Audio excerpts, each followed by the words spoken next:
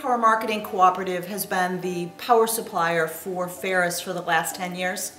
Uh, and really, Ferris, in seeking out a new power supply opportunity, was looking for affordability. And, and one might say that just absolutely makes sense that you're looking for affordability. But the reality is, for every dollar that Ferris doesn't have to spend on power supply, it can spend on its students. And so it's, um, it's a wonderful partnership. We're excited to partner with uh, Ferris on this exciting title sponsorship. Uh, as you know, Wolverine Power Marketing Cooperative is a cooperative, and so it's really more about just providing Ferris with affordable power. It's about empowering our community, and this is an opportunity for us to do that through grants uh, for faculty and scholarships for students.